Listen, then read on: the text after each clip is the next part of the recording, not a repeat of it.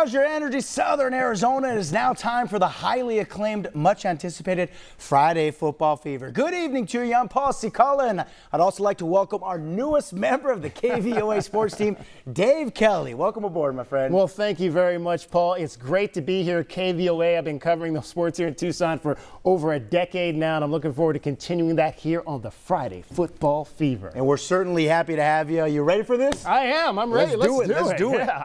Let's begin with the Friday Football Fever game of the week. It is one of the longest running rivalries in Tucson's history. Sabino and Sahuaro, the 46th battle of the East Side bragging rights, 41st game to honor the late Sahuaro quarterback Rick Botkin. And the first play of the game for the Cougars, who have 750 yards rushing this season. How about Jameer Gasaway? Put the gas in his ride because he's going away. 61 yards. I think Sabino's uh, Ethan Allegro almost hit me there, but I survived. Seven zip Sahuaro.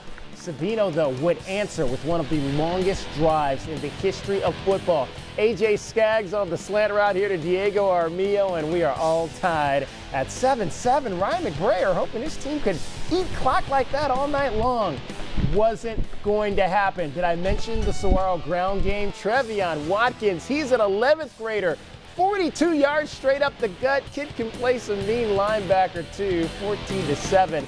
Cougars back on top and ready to take over or maybe turn over. That's what AJ Skaggs does. Kalen McFarland with the pick, and this is not going to end well for the Sabercats. That pick is a six touchdown Sahuaro. Cougars roll over rival Sabino. First time since 1987-88. Sahuaro has won this rivalry game in back-to-back -back years.